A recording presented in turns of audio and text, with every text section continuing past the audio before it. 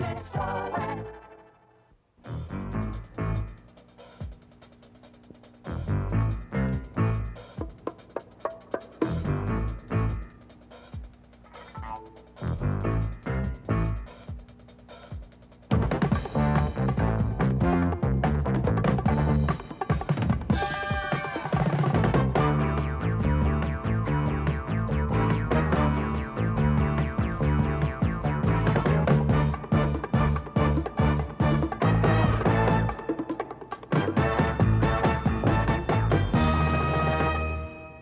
Good morning. It was a great night for Canuck hockey fans last night. Beat those benighted New York Islanders two to one, and it was the Islanders who wiped them out, of course, in the Stanley Cup Series. And the winning goal by the Canucks is a matter of some question, but who cares? Whether it went in or not, the Canucks got the goal. It counts. Shoveled it back. Over it comes. Bella, the Gradin. Gradin shot blocked by Smith and it's cleared down the ice. Close ball. Tried to clear the puck. Roger Neilson will tell you later on a Webster walkabout at the hockey that it was in the middle, but he won't tell you on oath. Then on the more serious side, we had a look at the econ- economy problems of Pacific Press, where 74 members of the guild staff are being laid off. And the union are considerably concerned about the fact. They'll agree times ain't so good, but Jim Young, the president of the guild local, wants something particular to happen. Are you prepared to accept these layoffs in face value at all? I am not. What do you want from the company? I want them to open their books and prove that indeed there is an economy problem. And also on the program this morning, the NDP's education critic, a fellow by the name of Gary Lauk of Vancouver Centre. After the break.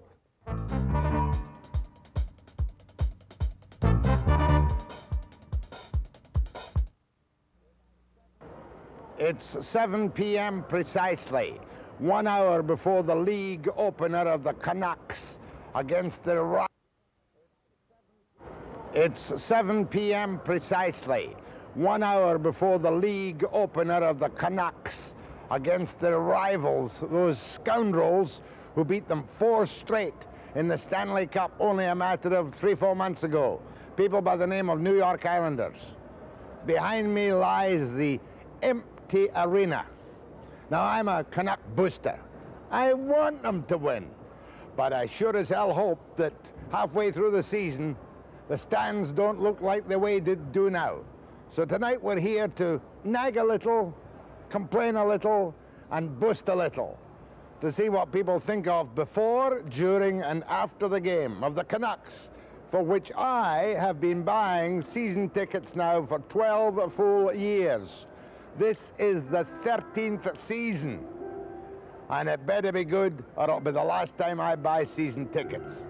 Let's go and meet some of the characters. I want to meet Mr. Flubdub Al Davidson. I want to find wee uh, Organ, wee Tommy Larscheid, the impressive, uh, imperturbable bull Jimmy Robson, and some of the old hands and some of my buddies who sit beside me in my expensive seat in the Reds. So let's go and have a look at what the Canucks are going to do tonight. Up to the press box. Oh, what an antiquated stadium this is with no elevators to take old people up the top. Now, one more, I think. Oh! I'm the one that doesn't like heights. And here I am up in the rafters of the Coliseum because I've got to go over and find the NW broadcast booth and talk to Robson and Larscheid and company. They're the hardest work working people in hockey, I don't mind telling you.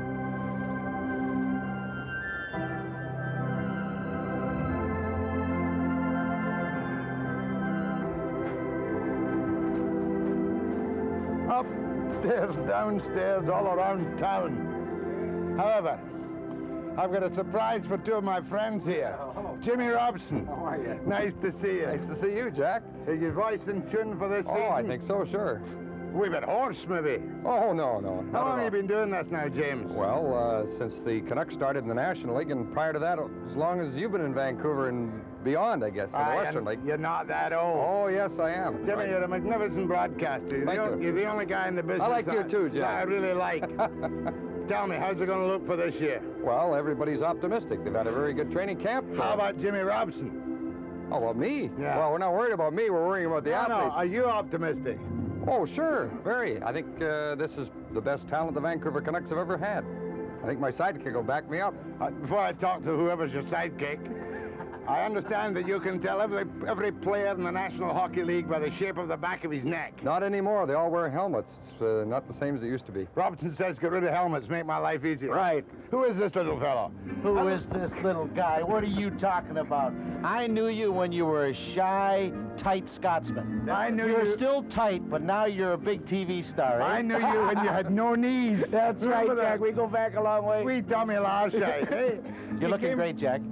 Don't give me that nonsense. Is that your own hair? No, look at that. Don't get the bald spot now. Just get get the front profile. What a the nose. transformation you made, not only of your hair, but from football to now a distinguished hockey broadcaster. Well, you know, I looked around after I was finished playing football, and I listened to all your mumbo jumbo on first CKNW, then CJOR, and I said, where can I go where I can make that kind of money and have as much fun? And you think- I'm having as much fun as you, Jack, but not near as much money. You've got to do something to lower the tone of your voice. I can't. It's That's me. what Davidson tells me. Is that right? Yeah. Well, Davidson, I mean, Where is he's a legend in his own mind, you know. Yeah. Where is the wee man? Well, he should be up here. In fact, we go on the uh, the air at quarter to eight. He'll be here about 30 seconds before we go on the air. That's right. And he'll either be denouncing somebody or licking their boots. No, it'll be the National Hockey League's on the air. Best of luck, Tommy. Thank you, Jack. Good to see You too, Jimmy. God, do you work up here all? It's a little bit confined. Oh, no, it's very comfortable. You should see some of the places around the league. This is one of the best. Which is the worst? I remember you saying on the air once. Well, Well, some place I guess you- Washington and Los Angeles are bad because you're right among the spectators. And Long Island used to be the worst, but now they have a brand new press box where the Islanders play, so it's a lot better. Thanks, Jimmy. Okay, thanks. Enjoyed it. Thank you, Baldy. All right, Jack. Good to see you.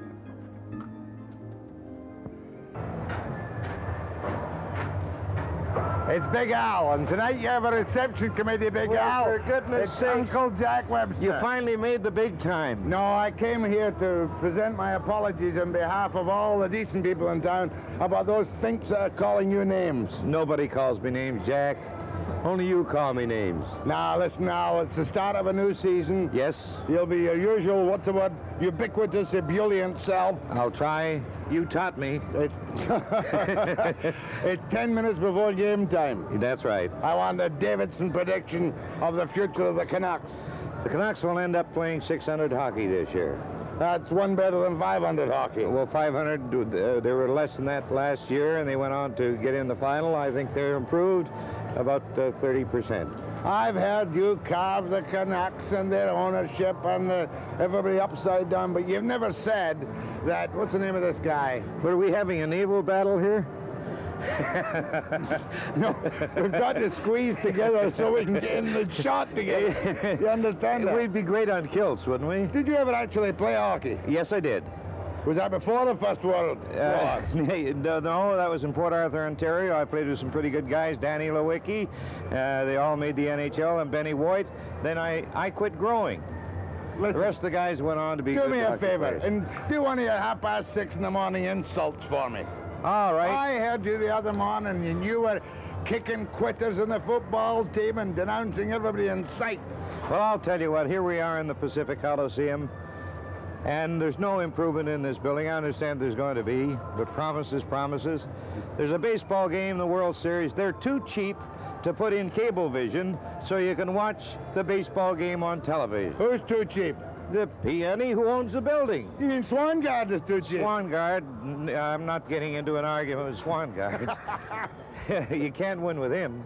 Well, no come on. use getting in with Let me this- escort the old gentleman into Ah. the booth so he can say the National Hockey League Yeah. is on the air. Yes. I think it's only right we tell this television crew, all these guys here, we want Jack Webster, not Archie Bunker. Yeah, he's the Archie Bunker of the local scene. Jack is the greatest thing in my life when I worked with you. I wish you're back with us again. You're doing a great job with what you're doing. Can Uh, this keep it make it? The team. Uh, or will, will you finish up screaming, Neil and Neilson must go? no, I won't do that. You will if you have to. As long as they play entertaining hockey and give it their best, that's all you can do. And when? Uh, well, win, yes, but as long as they're entertaining. You never win, but you're always entertaining. Watch yourself on the tube, Al. You'll go on a diet instantly. That's right. See you later. Thanks, Al. Okay. Richard, can I give you your pitch? You can give me my pitch, Jack, and I'll Which do you want? it. Do you want the Canadian anthem or do you want the Stars and Stripes? Oh, you got to give me the Stars and Stripes. Stars and Stripes. Star Spangled Banner, Jack. Star Spangled Banner. Right, that's it. Oh, the bandon, Saturday. No, I can't That's, do that's the one. Do you want me to do it for You for do you? it for me. Oh, say, can you see? Enough. Enough. Enough. I'm ready. All due respect. Now, Oh Canada. I remember you had trouble with the changed words in Oh Canada. Did I have to? Well, actually, Jack, it wasn't the changed English words. It was the French I was doing, and I got a little bit of a raspberry from behind one night, and it kind of threw me a little. But you still do the French. Uh, no, don't do the French anymore. you Uh, got to do it now and it- again. it's coming. It's coming. Uh, we're working on it. Richard, uh, you put out a record. Yes, I did. Did it sell? Oh, yes, it is selling very well. It's a Christmas album, so you've got to, you know, I've only got a couple of months a year to sell it. Richard, this is your 13th season singing Oh Canada. You're absolutely right, Jack. It's you, uh, and you've never been off with a cold. well, I must admit, I have had a couple of nights when I've uh, haven't been able to really get anything out, and I've uh, yes, we've we've faked it a little on two occasions. I shouldn't mean- say oh, that, but You mean faked it? you mimed it to a record? that's the idea. It's That's like not you, too just like you do on television. Richard, uh, best of luck for you in your 13th season and the Canucks. Thank you, Jack. I and we'll stick it. by them even if they flub it Oh, year. absolutely, for sure. Thanks. Where's your tie? Uh, it's coming on later. I'm just getting warmed up. Thanks, Richard. Thank you, Jack. What do you do when you're not singing? Yeah. Oh, uh, when I'm not singing here, I'm busy teaching high school, North Vancouver. What do you teach? French. Have oh, you there ex- you are. You asked. Have you accepted the rollback? Um, I'm working on that as well, Jack. I wouldn't want to commit myself now, but no, uh, but I, especially about I always thought you were such a nice guy. I didn't know you were a teacher. didn't you? Well, there are a lot of nice teachers. No, Thanks, Richard. Okay, Jack. Well, let's go and see the man, Glenn Mageau, the organist, who whips the crowd into a frenzy on every appropriate occasion. Glenn, how are you? Fine, Mr. Webster. Can I butt in? You bet. How do you spell your last name, which means I don't know it? Mageau, M-A-G-E-A-U. Play me a couple of bars of exciting post-goal music. You mean like na na na na? Try it. Yeah.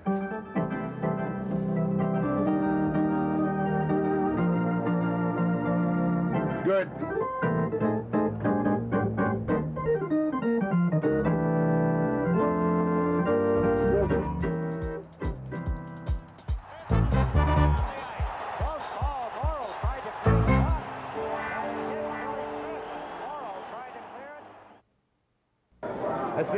The first period. And look who's standing here signing books, but Tony Gallagher and Mike Gasher, who wrote a book called Towel, Triumph, and Tears, right? We did that. We did indeed, Jack, and uh, we're kind of happy we did. Uh, this is the kind of atmosphere I think that was created uh, in those run of games. Mind and you, uh, it took them 10 years to get to the stage where you it took, them thir- it took them 13. This is their 13th year, and uh, they look a little stronger this year, but I don't think they're going to win the Stanley Cup. It's going to take them a while. Our sequel may not be for another 10 Oh, years. No, I'm a nut. I'm a hockey nut. They got to win it this year. Surely they can win it. You must be joking. There's no chance, really. There's 10 clubs better. Well, eight clubs better than they are, for sure. First period tonight wasn't too bad. Not too bad at all. Poor power play. The Islanders are in low gear for the moment, but uh, they'll start to get moving around Christmas. Tony, you've got to go off, but uh, Mike, just in capsule form, tell me the story of uh, the towels and the triumph, the towels and the tears, and Oh, that we- incredible fine that they put on poor Neilson. I see some towels tonight, you know, and it reminds me of that game. Second game, Chicago series last year, Chicago Stadium, noisiest rink in the place. Canucks are down three to one. They take it over the blue line. Curt Fraser goes to the goalie, scores. It's three to two. Late. Offside. There's this. All of a sudden, Brannaman and Fraser are swinging. There's a penalty, no goal. and up come the towels, and a little bit of history was made. That was the history. Was that the night Neilson himself threw his towel over? Yep, you raise it up on the stick. Uh, And it they became got a symbol. They got a symbol and a $10,000 fine. What did you think of that first period? Pretty good. Canucks look more dangerous. Did he have to pay that $10,000 fine? No, it was only a performance bond. I think he paid the one grand and the 10,000 came back from the league. Tony, how's the book going? A little too early to tell, but fairly well, we think. Towels, triumph, and tears. Thanks, Tony. Thanks, Mike. Thanks, Best of luck. Oh, by the way, haven't we met before somewhere, sir? I don't think so. Hurling's my game. Is this your... Is this your first time at a hockey game? Certainly is. I'm straight from the old country. Never saw the game before. Okay. Keep your head up and you'll enjoy it. Thank you. Nice to see you, sir, whoever you are. Jack are. Webster with Webster's World. That's a long time ago. Seriously. what did you think of that first period? It wasn't bad. You know, power plays is not too good, but other than that, that was scrambly, but it wasn't bad. But New York are a bunch of slick bullies anyway, aren't they? That's for sure. They're tougher We're than going to we get are. him the second period, Jack. How about you? Is this your mother's towel? Yeah, What are you doing with a towel here? shake it. Okay, well, keep up your enthusiasm. Hey, Jack, when the tough gets rough, the rough gets tough. We're getting tougher and tougher every game. Are we? All the way to the Uh, cup. towel power. Got it. Okay, thanks very much. Nice to meet you. What do you know about hockey, though? Oh, I know a little bit. Not too much. Do you think they'll win the Stanley Cup this year? They're going to give it a good try. Give it a good try, eh? That's it. about- Here's a, a lady. Here's a lady here. Lady, is is this your first time at the game? No, I've been season ticket holder for about seven years. Shut up. How long have you I've been going to them for about eight years. Eight years. Had season tickets for They- years. They might even pick up the Stanley Cup this year. Yeah, Thanks very sure. much. What are you up to? Babe, how are you, Jack? Tallest man in the crowd. How are you hitting them? Uh, what are you talking about? Customers or golf balls? You're hitting everybody around here a tonight, Jack. quick cold analysis of the first period. You did? No, you give me one. A quick analysis? Yeah. Terrific hitting period, Jack, and we'll fill this joint all season long with that kind of hockey. The power play wasn't much good there, was well, it? Well, I know, but there was a few strangers in there. Don't worry about the power play. Just worry about Roger stopping them and uh, Big Hlinka putting the puck in the net. Oh, and that goal in the first period by Lars Lindgren. Yeah, beautiful play. Beautiful play. Especially with uh, playing against the uh, Trache line. See, this is the big line. By the way, Jack, you know, if you could hit the golf ball like you broadcast, you know, you'd give that Nicklaus a lot of trouble. When did you last have hockey gear on? oh, about 20 years ago. I mean, 40 years ago. no, 20. Nice to see you, Ben. Nice to see you, Hope Jack. you have a good year. Thank you very much. Thank you very much. Hi, Jack. Hi, how are you? Oh, nice to see you. Okay, what do you, what did you make of them tonight? Pardon? What was that again? What do you make of them? It's a good, good game. It's a good game. How many beers have you had? Ah, it's only my third one. Third one. Oh, he's at 10. What did you make of them tonight? All right. Hi, Mom. Hi, Dad. It's impossible. It's impossible. One more over here. How's it going? What's your name? John, Where from? Birmingham, England. You don't know anything about hockey. I do too. Watch this game. You're not entitled to comment. Yes, I am. I'll comment. Good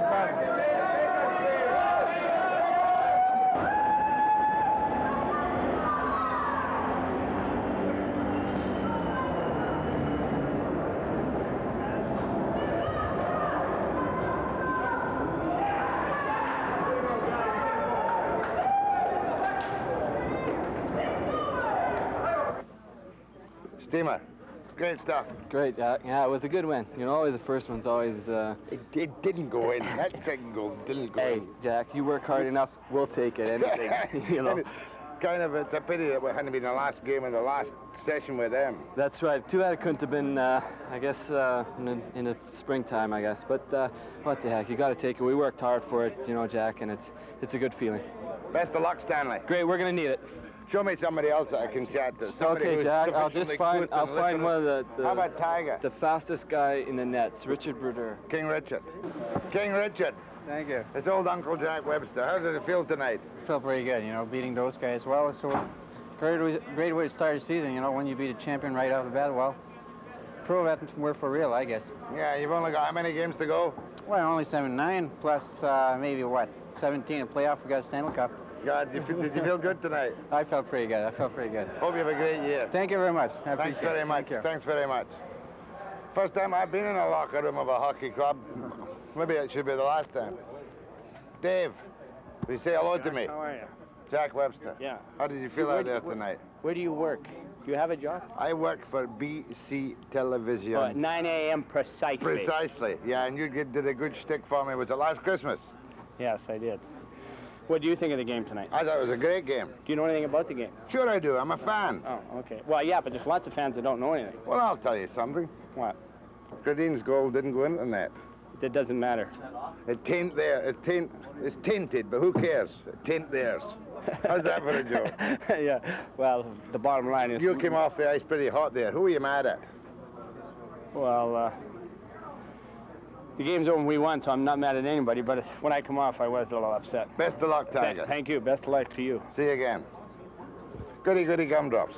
Hey, you want to do a good report? Yeah. Interview this broads in our dressing room. Broads in the dressing room. I should not be allowed. Why not? Because.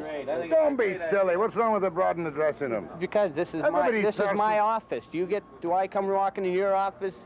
Do they come walking in your office nude? I got to work around here, and I got a women hanging I'm around. never nude in the office. Well, it shouldn't be a allowed. Are you chewing snuff? You chewing snuff? Don't be silly. What do you me- think about it? You see that? that black eye you've got? yeah? Do you like the matching one? Thanks. I think it's perf- they're perfectly entitled to come in, whether you're naked or they're naked or not. Wish You're on the left field on that one. just out to lunch. Woman, out of the dressing room. Really? That's Naomi. All the experts are telling me that you you coach dull games. Not true. Is You're every- right. No, that's right. Uh, we uh, we don't play dull at all, and uh, that was a really exciting game, and I'm sure all the fans liked it. Best of luck, Roger. Thank you, Jack. And it did go in, did it? Right in the middle. You sure? Absolutely. On oath. well, let's not get carried away now. Thanks, Roger. Best of luck. Okay, Jack. The first game of the season is over.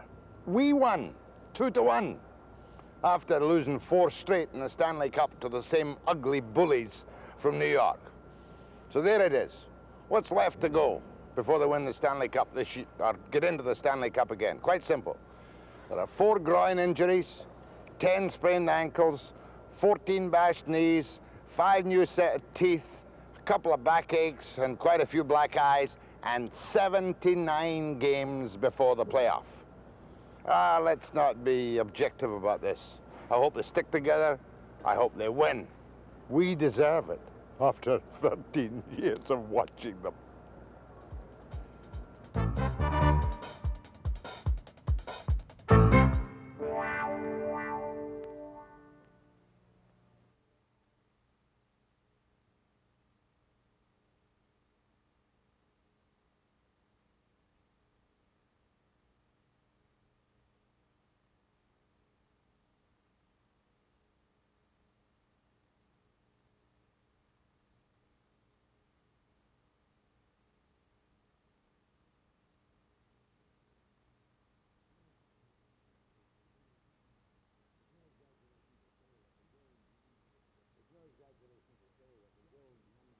It's no exaggeration to say that the guild members at the Pacific Press were shocked and stunned when they got the layoff notices for 74 of their people.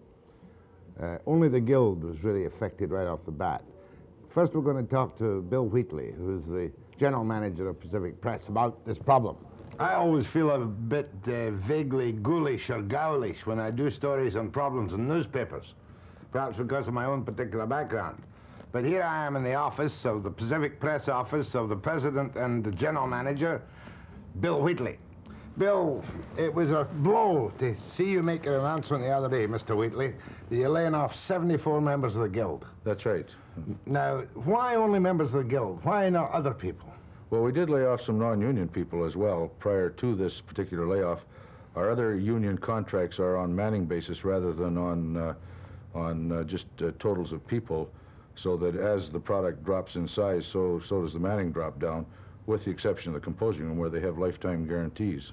The composing room has lifetime guarantees which came out of the 77 strike, is that correct? Uh, I believe it was before that, although I'm not positive. It came out of the change in technology from hot metal to uh, paste-up. And for accepting that, the, the typo, typo men were given lifetime guarantees for their jobs. That's right. So no matter what happens, they're secure. That's right. Within the terms of their particular contract. Exactly. Now, when you come to the mailers and the pressmen, they have guarantees based on the number of papers you run over a month or over a year. No, they're manning depending on how many units and how many pages a day. We also have a guarantee for pressmen, but we don't have too many pressmen. Right at the moment. Uh, that right at the moment, that's right. So when you decided to make a layoff therefore, the only place where you could cut under the terms of your contract at one fell swoop 74 people was in the guild. And non-management, or at least in non-union. Non-union, like That's right. supervisory non-union Uh, staff. That's right, or, or some, some personal secretaries that are not within the contract. But that's the only area. Well, when you hit at the editorial in the guild, what categories actually are you have you given notice to lay off by the end of October? Well, we haven't, uh, actually, in the, in the editorial departments, there are not that many uh, people involved. Uh, there are more people in other functions in the, in the business, and quite frankly, I couldn't break them down for you uh, exactly as to who they are, but they all have a bumping privilege, so that it will probably move down to the least seniority people. So it could be janitors, uh, retail ad clerks, all that kind of That's- category, That's right. and about a half a dozen editorial full-time and part-time. On both papers, on each paper, yes. Now, corporate structure is always a tricky thing to understand in this particular field. Is Pacific Press an operational unit of Southam's? That's right. And does Pacific Press run its own balance sheets? We run them to a degree, but not completely. They're all consolidated with head office's figures. Mind you, I've got to give the Sun a pat in the back for running the story by Phil Needham the other day, and I, I got to read the first paragraph. It says, the president of Southam Inc., that owns Pacific Press Limited and reported net earnings of 44.67 million in the year ending December 31st, 1981, said Friday that Pacific Press staff members are being laid off because Pacific Press is simply not now making money. Right. Could you tell me how much you're losing? Uh, no, actually, he, what, uh, he said that we are not now making money, and that is back since June. Uh, our figures show that since the first of the year, we are slightly into a loss position when we consider uh, the debt costs on things, uh, the capital equipment that we've put into the building. Yeah, but- So that on the, on the year, we are, we are in fact losing money this year. But many an outsider would say, name of goodness, Southam's made 44.67 net last year. Couldn't they swallow the losses in Pacific Press? Well, last year's figures, of course, were a record for and since the first of the year, they have not been in that uh, area at all. And there was some extraordinary items in that particular year that boosted that uh, figure up. Yeah, but uh, you hired a lot of people not so long ago in Southam's. That's right. Well, we have hired since the 1978 contract here a considerable number of people, and as a matter of fact, have hired more guild people than we're laying off. So you hired a number and now you're laying them off. But are these temporary layoffs or with your knowledge and feeling of the economic climate, do you think these people have gone one way and another forever? Uh, I would hope not. Uh, I would. I can't foresee uh, the, in the immediate future any change in the business, though. I, I see it as a fairly long-term recessive tendency, and uh, hopefully, I hope I'm wrong. I don't think I am, however. I think it might be into 1984 before business starts to pick up again. When you say that lineage is down, is it down very badly? Yes, it's down. Uh, we're running now down more than 25 percent uh, on both the Sun and the province. Lineage, by that you mean all uh, advertising, national, local, and classified? Well, mo the, uh, the big losses are in national and classified, not in local advertising. The local advertising is holding about even with last year. The classified and, and particularly national are well off. Now, you'll tell me to mind my own business if I'm pushing too hard, but Pacific Press is a separate operational unit of Southam's with its own balance sheets, but is part of the overall corporation. That's right. And the instructions obviously are that each unit of Southam's, including the one on the Pacific Coast, must not lose money. No, that's not necessarily true. I worked in the Winnipeg Tribune for six years, and we budgeted and lost money every year. And of course, the, the province has been the money loser on the West Coast here for a number of years. That's right. Lose money badly? Well, we consolidate our, our expenses so that we don't have an, an exact breakout of what the, the province's situation, because when you get below the editorial and advertising and circulation departments, all the rest of it is consolidated expense. But the average union guy can't look at the at the profits of Southam, the overall healthy profits of Southam, and think, well, they should carry Pacific Press. Well, all of Southam is down this year, and uh, the, the losses uh, in lineage have been accelerating since uh, the f- end of the first quarter. Well, you've been in newspapers a long while and run p- papers all over the country, right? Right. Do you think this uh, might mean the death of the province? Because that's what the speculation is. The province is in trouble. The province will go under. The Sun's the better of the two papers in terms of money, and therefore the Sun must survive. Well, there's been no consideration of that at this particular point in time. Uh, I don't foresee it myself. Uh, we have talked about that for many years and probably continue to talk about it, but uh, it is not a part of a plan that we have at this moment. That's But uh, Pacific Press must stand on its own feet so that it can not draw too much on Southam profits. That's right. And I think we can. Given uh, normal business conditions, I don't think there's any problem doing that and still having two newspapers. Our problem now is, is uh, accentuated by the economy of British Columbia. Bit of a blow. Somehow or other, it seems to affect us more when we see newspaper guys being laid off than almost anybody else. Maybe it's just our own selfish, incestuous insight. Well, yes, and it disturbed me. It uh, particularly disturbed me because, as I mentioned, I had been involved in Winnipeg, and these are heartrending times when this sort of thing happens, and I hope that this is the end of it. I hope that now our business will begin to increase and things will pick up again.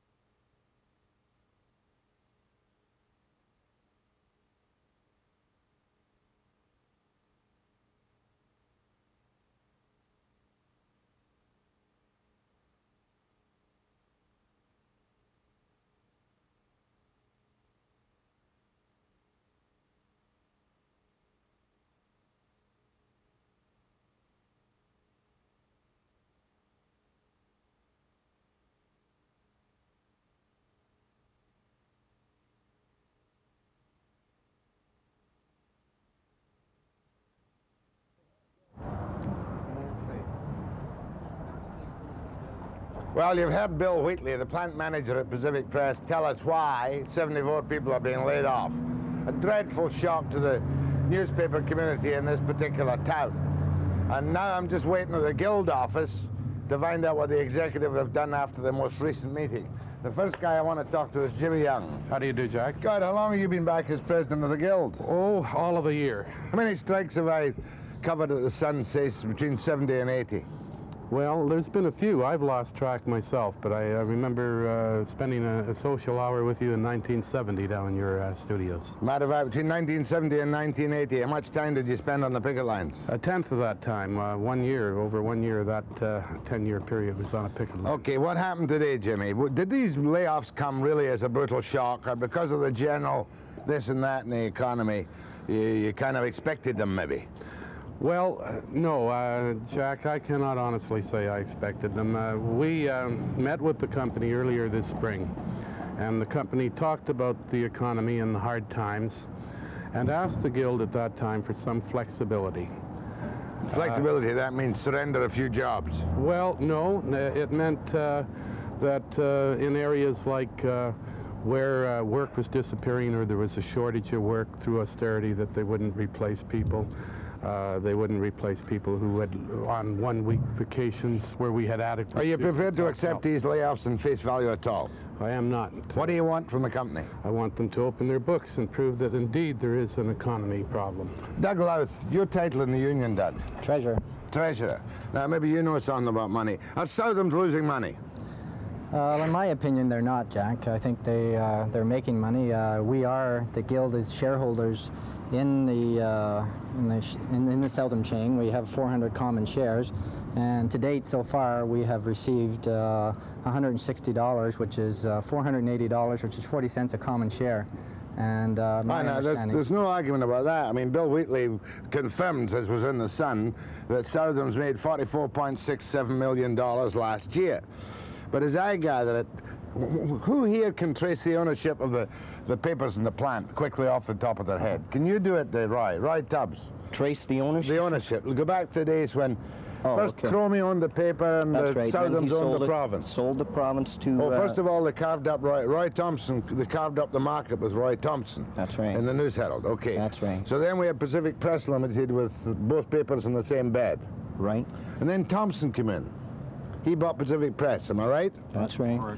Uh, he, he, The Sun. Shortly after, he bought the he- he Sun. bought the Sun Bought shortly the after the strike. Right. And then Southam's moved in and took it all over. That's right. Now, is this a reasonable request that you should ask to see the books of this giant corporation, Roy? Yes, that is an absolutely uh, reasonable request because of the bona fides. Uh, when they're talking about an economic layoff, uh, it's very difficult for, for anyone to take them at face value.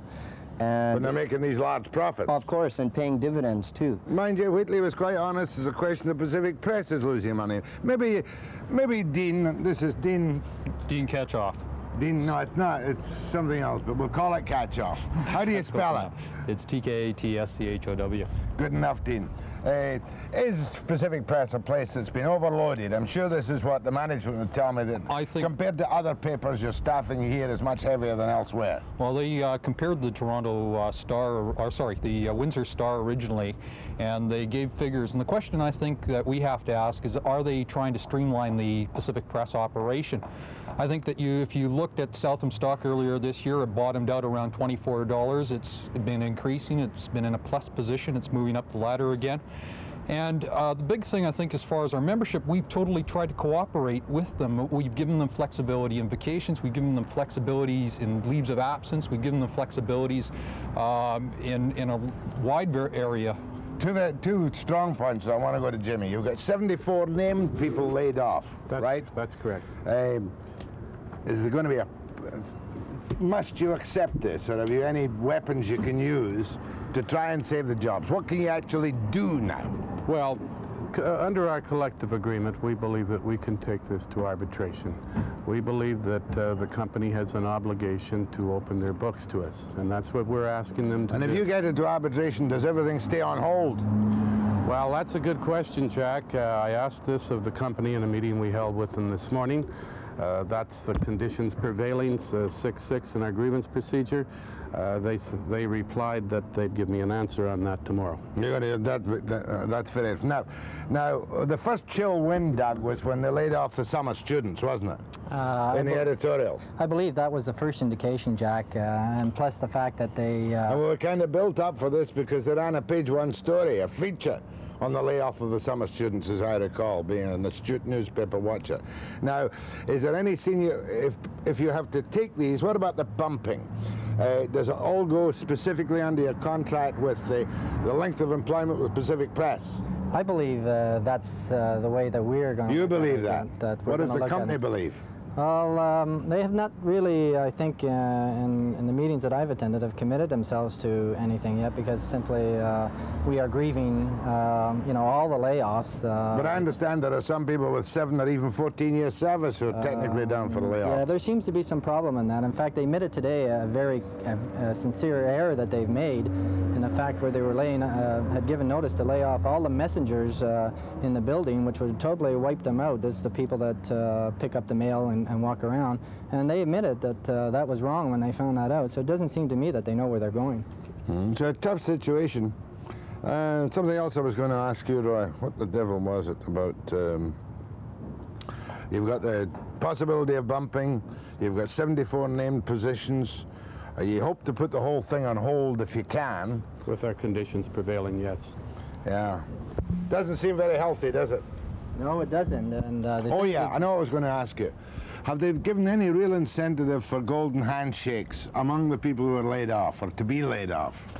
They've uh, offered people over 55 years of age and early retirement possibility uh, to be individually negotiated. Uh, what that means, I'm not quite sure. They also... Uh, That's not the people who are listed as to be laid off necessarily. No, they're still No. going. Well, And- would, and if they- anybody took the buyback, would that cut down the number of layoffs? No. No. No, that was clearly stated. As a Hmm? matter of That's fact, in our meeting, when we had the 51 and, and 23, which the original number was, we asked them to clarify if they were attempting to achieve a percentage of payroll saving. And if they were, if people took early retirement or voluntarily resigned, would that affect the number of persons laid off? And the answer was no. So it's 74 at the moment, plus buyback attrition, whatever they can achieve that for people between 55 and 65. That's accurate. Well, we've got no editorial people here, but maybe it wouldn't affect the standard of uh, newspapers in Vancouver, Jimmy Young. Well, that's hard to say at this time. Uh, and, uh, one thing that we did do at our information meeting today, Jack, is uh, appoint a special committee uh, and to, to try to determine just exactly uh, how uh, all of these, and one of that, of course, will be one of the questions. Mind you, with, with itself. anything between 10 and 25,000 IWA men out at any one time. Should we bother about 74 newspaper employees? Oh no, the guild, it's the guild only that's being hit That's by only, this. it's only the guild that is uh, getting the effects of the layoff. Why not the ITU? Protection in manning. What do you mean? Protection in their manning clauses. You mean they've got lifetime security right. av- under the 77 or Well, 78 in agreement? fact, in fact, in the area of the composing room right now, they've made an offer uh, to the individuals that are over 55 to buy them out for $14,700 plus uh, severance pay or whatever. So they, they would like to reduce the size of the composing room, but they're coming after the guild. We always bite the bullet. Why is that? Because we don't have the protection of manning. Because you're the least protected That's in right. How about the mailers? Mailers, or they say there's no problem right there. Right. Pressmen? No problem there. And the other staffs, no problem? No problem. They're coming after the guild right now. Yeah. Has anybody, oh, have they offered any of your people 14,000 golden handshakes? No, but at the bottom of a uh, letter that was uh, from Mr. Wheatley, who's the president of the company, he indicated that he would be willing to buy out certain individuals if they're in the retirement age bracket. So they are, it, it looks like they're trying to cut down the size, Okay. streamline. We'll try and keep you in touch with the Pacific Press crisis as it develops. There's no argument at all that the economy and the drop in advertising lineage is a basic problem. The union wants to see the books, to see if the Pacific Press section of uh, Southam's can, in fact, justify the cutbacks. Next, we're going to talk to a man who caused a great storm and commotion this summer, but he's here particularly as the education critic for the NDP, Gary Lauk, Vancouver Centre, after the break.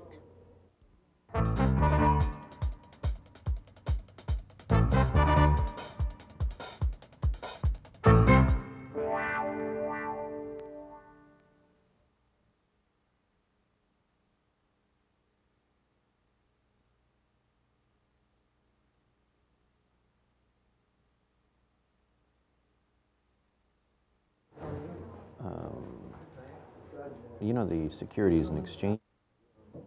It's very easy to overdo an interview, you know, on occasions and rub things in that shouldn't be rubbed in. So let me put a little sardonic, well, a smile on my face, not even sardonic, to Gary Lauk and say, that was quite a day when you caused the Canadian dollar to drop on international exchanges. Do you wish it had never happened?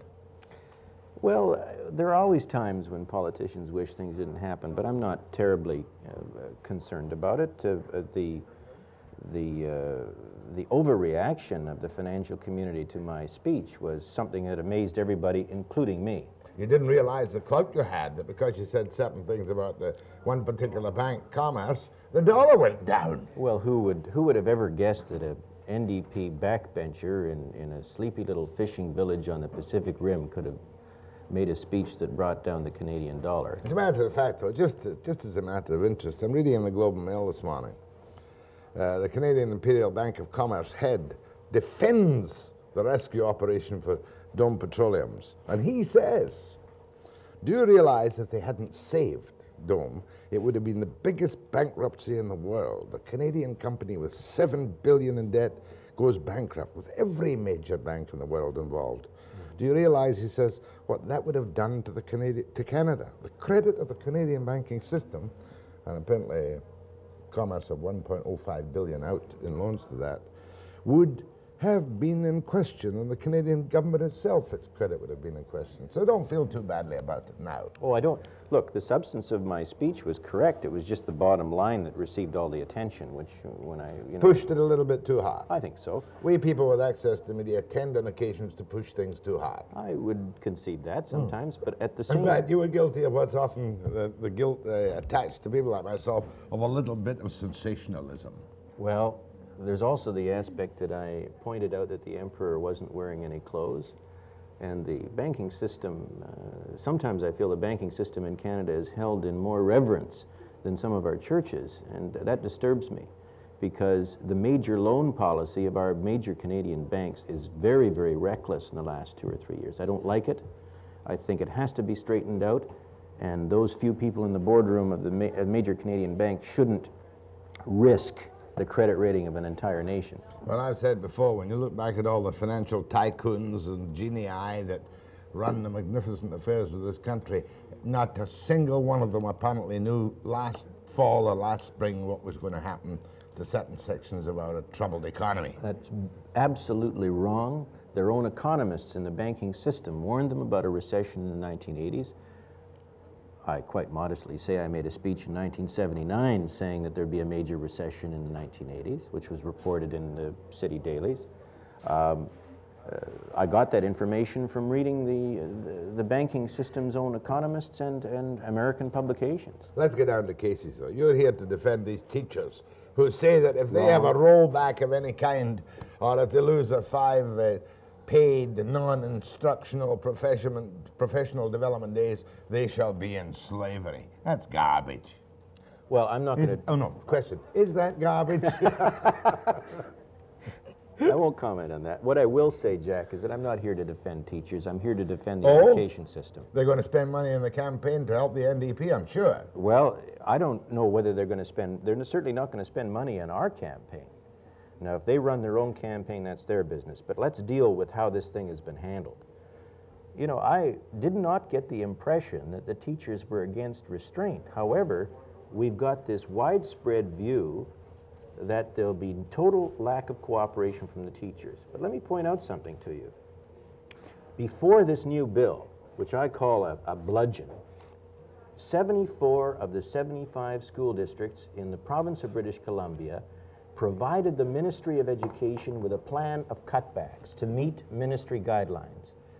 All of those plans were negotiated and agreed to between the trustees and the teachers of each district. We must have been in a different world. Okay, but let me tell you something. Because I had Mr. Vander Zalm here, changing policy every five minutes and making, uh, subjecting himself to pressure from Beijing and from the teachers, and the people out in Surrey didn't know whether they were coming or going when they suddenly realized that they could put people off for professional development days and save, what was it, 66 or 102 jobs. Well, the point is that that the various restraint packages that were formulated by each district was done on the democratic basis, and it seemed okay.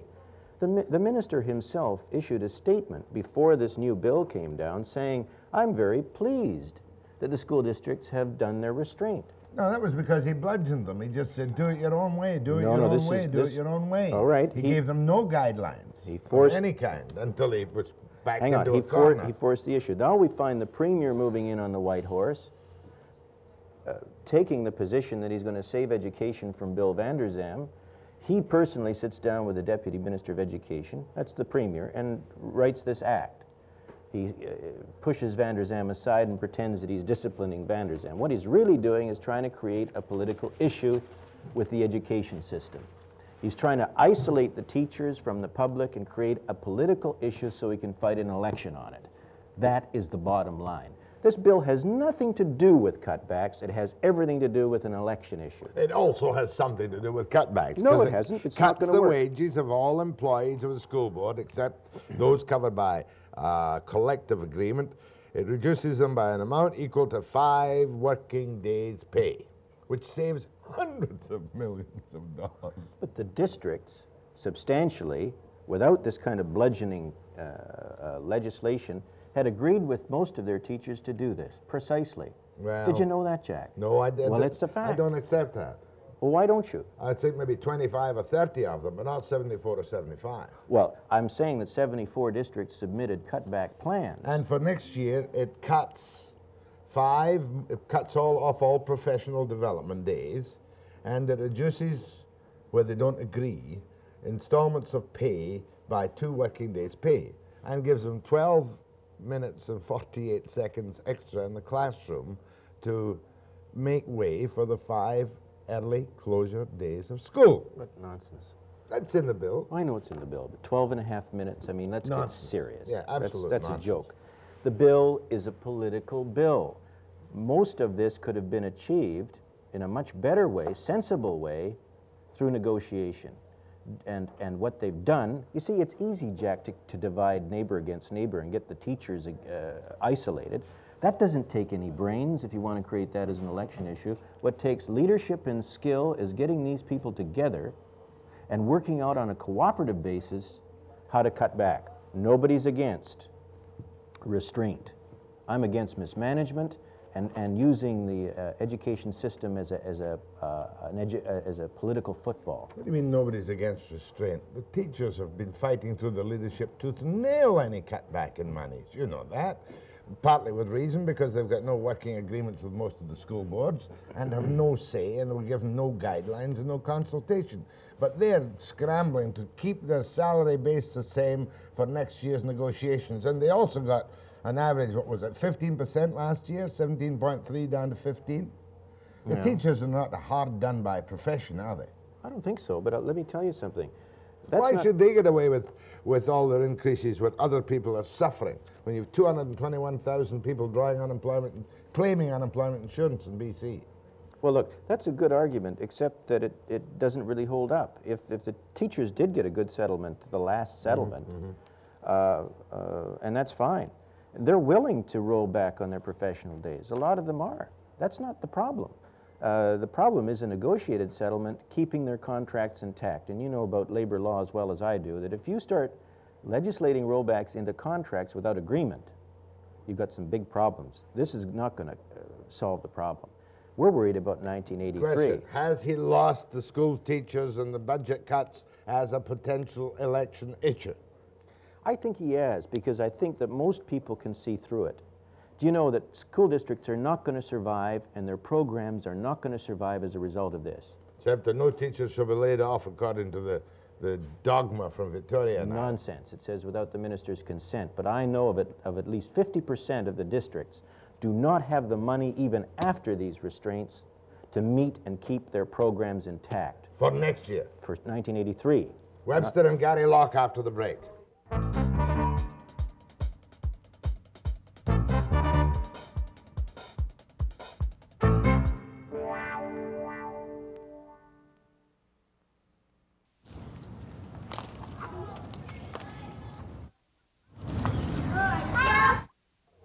The fact remains, said Webster to Gary Lauk, we've, everybody's been horrified by the explosion of education costs at a time when pupil numbers are dropping and still dropping radically. No, they're And, not. Yes, they are. No. Yes, they are.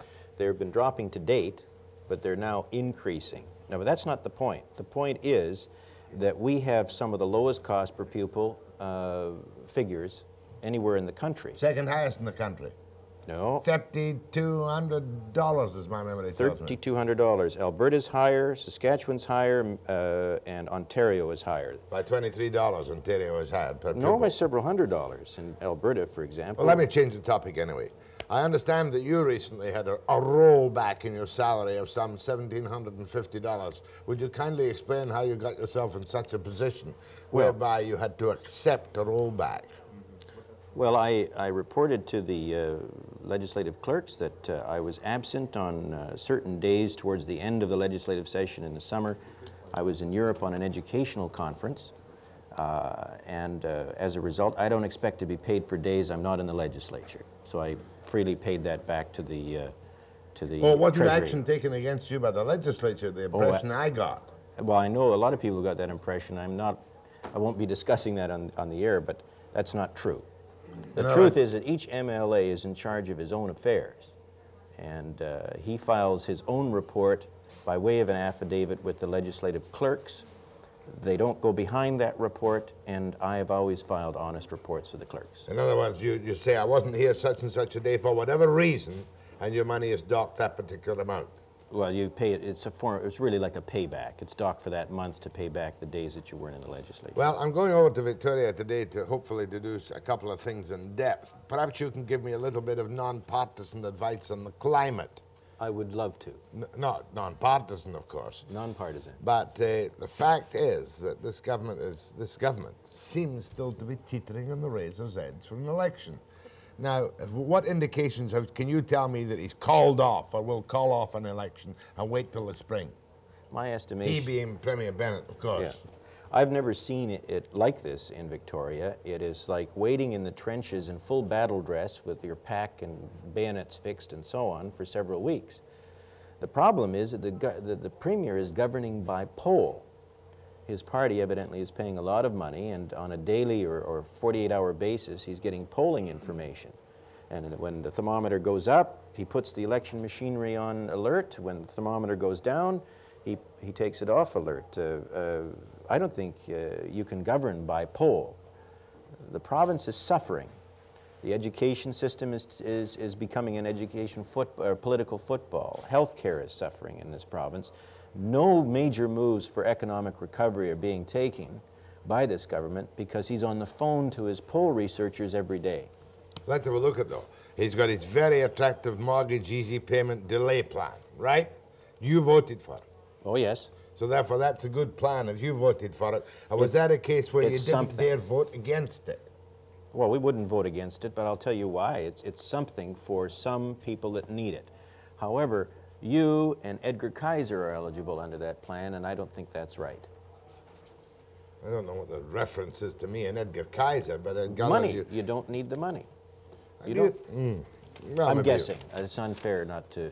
Okay, but uh, as All far right, as I can that's see, point number one. What else has he done? He's backed away from the Warren Commission, and if he does go for election, would he dare put that through before he went for a vote? He won't get it without closure, Jack. In other words, the NDP, your policy, as Barrett told me, would be to make it very difficult to pass that bill. That's right. Has closure ever been used? Not that I'm aware of. I can never remember I it in can't BC remember either. it in BC. no. Have you lost confidence in, in the- the Speaker, what's his name, Walter Davidson, already? I, I wouldn't comment on that. I, I, I think uh, that uh, there may be some problem, but let's, let's watch it. After all, uh, the man's been in the chair for a couple of weeks, three weeks. Uh, let's give him a full session. Uh, Bennett won the battle over John Fryer and the BCGEU, and that has been removed by and large, I would imagine, as a sore among government employees in Victoria. So therefore, that's a, a plus on his side, isn't it? I would say so, uh, but it's, it's a plus more for, for you and Fryer on the air, actually. You mean for our little wheeling and dealing on the air, into which Yeah. Mr. Bennett jumped very alertly? Well, I think that you should be hired by the government to negotiate on behalf of the, of the administration with the BCGEU. Are you accusing me of being a social creditor by any chance? No, just a good labor negotiator. Well, a man with some common sense, perhaps. okay, what else is, could he go as an issue for an election on? What other issues are there? Right at the moment, it's just a miasma of indecision for me. Uh, not for me, but for what appears to be the position of the government. Well, I thought he was going to go on his restraint package, but now he's Oh, brought I'd in this bill. about the restraint Yeah. package. Well, I know why you have. He's brought in a bill that will permit the government to borrow at any time without permission of the legislature unlimited amounts. Treasury bills. Treasury bills. They're not bad. They're terrible. Why are they terrible? Because- Surely the time to borrow a couple of hundred million on a short-term 30-day, 60-day, 90-day note is now when interest rates are declining. They can borrow now on 90-day periods. That's not what they want. They want an unlimited borrowing power by way of treasury bills without permission of the legislature. Remember when he said no dime without debate? And Yeah. we're going to have a billion without debate. He can borrow much more than that. There's unlimited amounts. Are you telling me the government, when the House is not in session, can't borrow by special warrant at any time? Yes, they can borrow by special warrant now, but they have to justify that within, within the rules of the legislature immediately. Uh, now they want a printing press in the basement of the Premier's office with Hugh Curtis and Bill Bennett cranking out these treasury bills. It's their idea of freedom of the press, I guess. Well, they've got the freedom of the printing press. Yeah. But they've got to have money, one, to start subsidizing the mortgage thing. That'll take 10 million the first month, won't it? But you see, this is a government of restraint, Jack.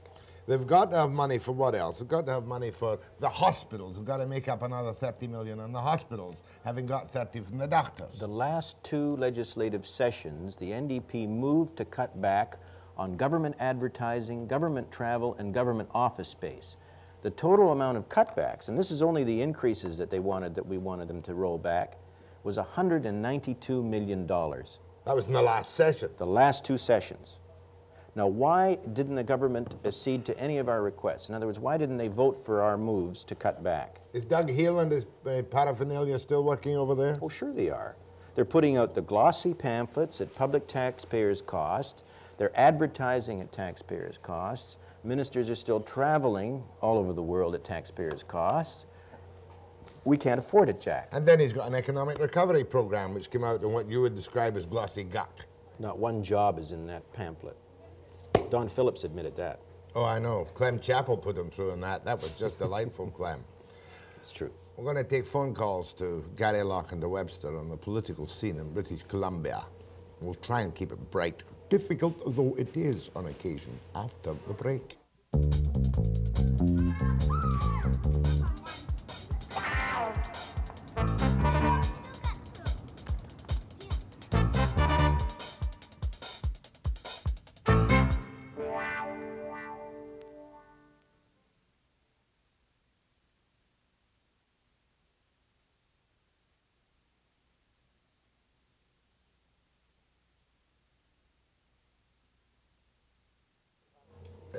No comment is necessary from you, but if Al Passarell says he shot a grizzly bear, you take it from me, he shot a grizzly bear. That's got to be one of the great laughs. How about a jolly program in politics this morning? Make us laugh. Go ahead, please. Mr. Lauk, Yes, sir? if you are able to shake up the financial community of the country, why can't you and your colleagues shake up the Socreds in Victoria? Well, we're working on that, sir. The, the, the uh, difficulty there is that we need an election for that, and uh, Why do you need an election for that? What about some vibrant attacks on the floor of the legislature? oh, they're there all the time. Covered as they are by the magnificent reportage of the print and broadcast media. Well, it's, I'm loath to attack the press gallery, but some of the debates, some of the, the more interesting debates are not always covered in full. I see. And, uh, uh, but we do uh, make every effort to, uh, to attack the Socreds uh, where we think that they're vulnerable. And one area that they're vulnerable is, is that they pretend to be fiscal managers. At the same time, they've mismanaged the economy and their own books for the last two years in a very bad way. Caused us some problems. How would you like to see them shaken up, Colin?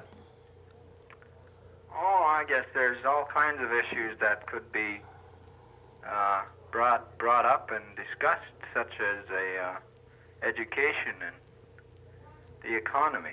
Education and the economy and expense accounts of social credit cabinet ministers. That would be a good one, wouldn't it? That's a really juicy one. That's a juicy one.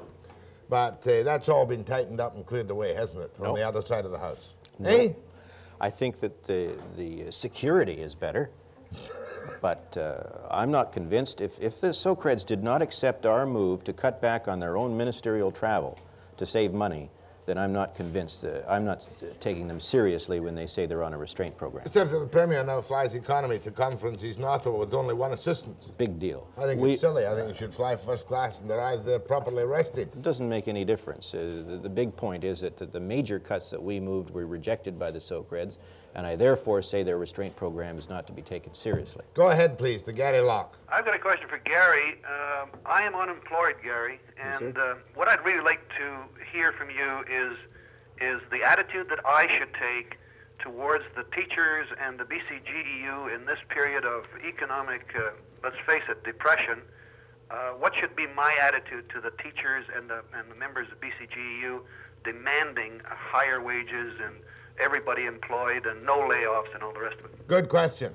Okay, I think, I think what you're saying to me is that I'm unemployed, uh, what are they complaining about? I, I, I say to you, yes, I can understand how you feel that way. The big problem that we have is trying to convince the uh, Social Credit Administration that they should go on a full-scale economic recovery No, program no, to Gary get you Lauk, a job. you are not answering the man's question. He's putting it to you very succinctly.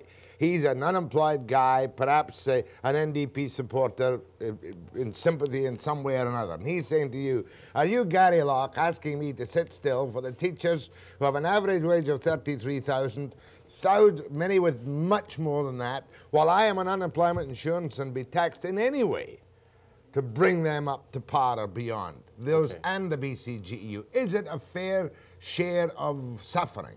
Okay, look, that's because everybody's bought the government line, and they shouldn't. The government line is that, the, the, that we're only treating teachers the same way that everybody else should be treated. Not, the education system is getting cut back by 6%. We're talking about teachers' salaries or No, I'm, teachers. I'm not. I'm not, Jack. I'm not saying. I'm not saying uh, that that the uh, that uh, that these people should be unemployed as well. I'm just saying that what is wrong with last year's salary. I'm not saying Nothing. that they should not continue working. I certainly don't want them to be unemployed. what I want them to, to look at is that this is a period of economic depression. I want these guys to realize that there are other members of this society that, in fact, have a hard time, and that they should be fairly uh, considerate and do not demand the 6 and 10 and 15 percent increases. Let them just stick with what they got last time. They got 17.3% in 1982 contracts. Okay, they can stay with that.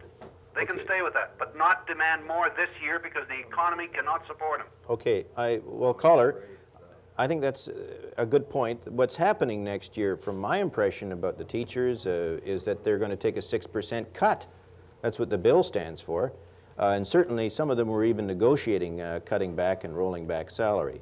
That's not the point. Uh, the, the point that you're making is that, that uh, it's pretty hard to be sympathetic with people with a job, and I, uh, I think that we'd best get on with trying to increase Let's employment. try in on one other one. The BCGEU this year got, regardless of how, at 6% from 3 to 13%. They got 6%, which cost the government 65 million. Why, says this man, I'm sure, should they get anything when the economy is in such a distraught? And, and when you had Pryor on, he in fact stated that some people were getting 17 percent. Nah, he was pushing it, but I'll He was just. pushing it. It's 6% they got overall. Sure. Yeah, I, look. How do you justify it? Look, i- the collective bargaining process took its, its uh, place. The government uh, gave them the increase, and now they're voting on it. Uh, Well, I don't no, think it's appropriate for us to, to supposing, discuss. Supposing the NDP was in. Now, this is just hypothetical. I'm not trying to smear you.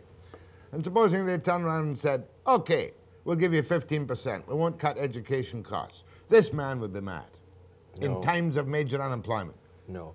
Look, I'm a house owner in uh, in Vancouver, and I have to pay taxes, and it and it looks like Vancouver is going to have a a, a deficit. The city of Vancouver is going to have a deficit, which means my taxes are going to go up anyway, including including uh, paying for for teachers and uh, civil servants, both in the in the city and, and in the province. Okay, look. What should be my attitude? Should I should I accept them as as as uh, equal members of this society and so on? I, I have the attitude that they're money grabbing. They don't realize what the hell's going on economically. Okay, I don't agree with you entirely. Some are, some aren't. Let's look at it fairly.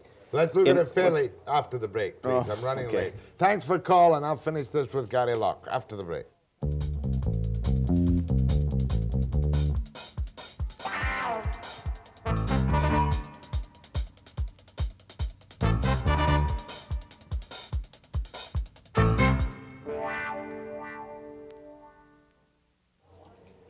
I think that caller got you. I think that caller wanted you to say, in times of restraint, civil servants and teachers should get nothing extra. Okay, the amount that they should get is, is, is up to a reasonable look at what the, the government can afford in a restraint time. Okay, I agree with the caller as far as that's concerned. The, the question is, should we believe the government or, and trust the government's word about uh, what's fair under the circumstances? Do you know that, that, that in the province of British Columbia, the homeowner pays for school costs? The homeowner, his property taxation. Uh, we have one of the lowest contributions from the provincial treasury to schools in the They're- districts. They're, they're in a billion or a half a billion dollar deficit position. Well, it's not. The, look, you, you asked about homeowner taxation. More and more of the school's burden, no matter how much they cut back, is going on to the homeowner. The one thing you'll agree with me on that Bennett is in deep financial trouble. I think that he's mismanaged the situation sufficiently to put us in real trouble. Right, and he shot the money. Probably. And something's got to be cut. Probably. We haven't seen the books. Okay. You sound like Pacific Press. Go ahead, please. Mm. Yes, sir. Uh, I'm a government worker, so I know what wastage of money is all about. I see it every day. And uh, in the education system, I can believe that there's a lot of places to cut back, but definitely teachers is not one of them. Any teachers I've seen have really worked hard. Have they been pampered with too, not pampered, but in the affluent days, did they get too many aides, too much equipment, too much this and that, not enough work, five teaching hours a day? All, all I can say is that I am watching two children grow up right now through the school system, and what they are learning is tremendous. And you just don't cut back on teachers and teaching aides. You just can't. Good call. Yeah, Thank you. that's fair. Go ahead, please. Uh, good morning. Mr. Lauk has obviously benefited from his long vacation. I hardly recognize him. So moderate, reasonable, and immaculate. Quite different from the days when in the House uh, uh, Mr. Barrett said give him hell and he gave him Lauk, Lea, and Levi, the wild men. It's very pleasant to see him being so reasonable.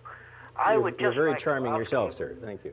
I would just like to ask him uh, why confrontation all the time? Why is it necessary in his new and moderate move? Why is it necessary for everybody to confront each other? I agree.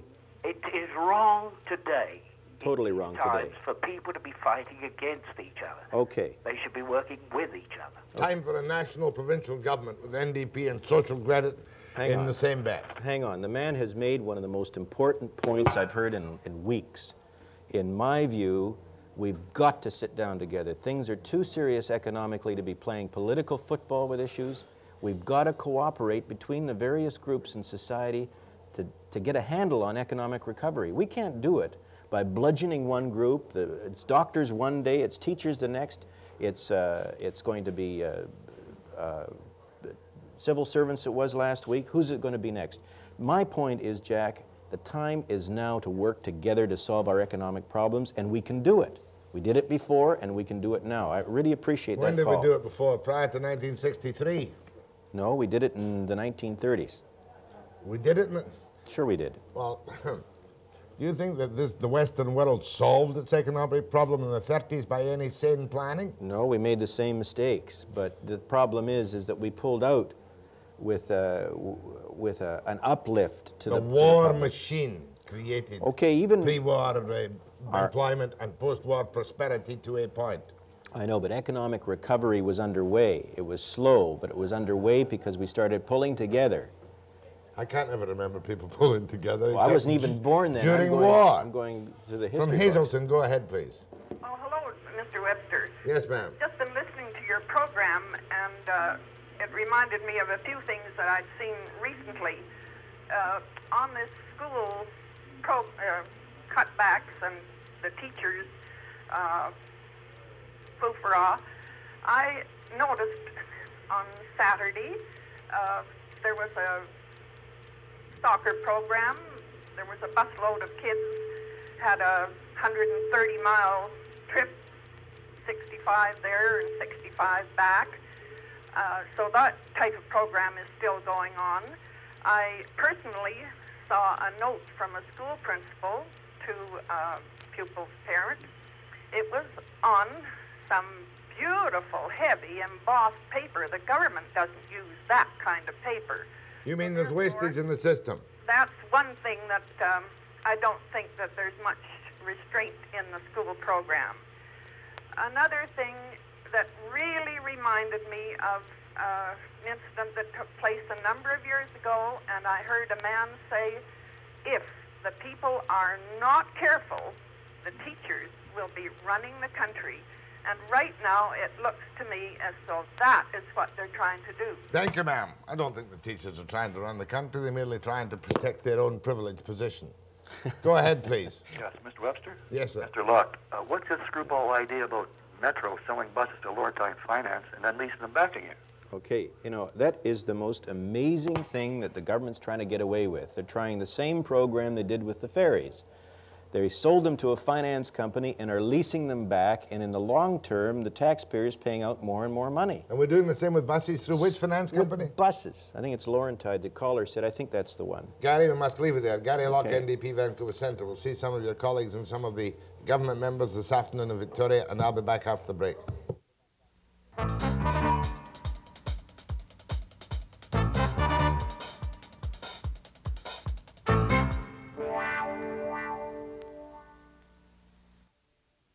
Tomorrow, a Webster report from the Parliament buildings in Victoria, we're also going to chat up that rather tough guy, Walter Stewart. Remember he wrote Shrug Trudeau on Power?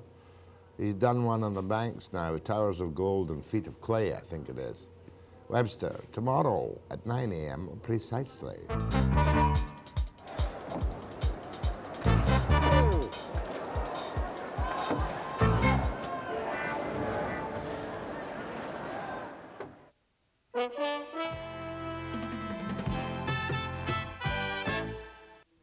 Webster plays with Canucks on Czech TV at midnight precisely.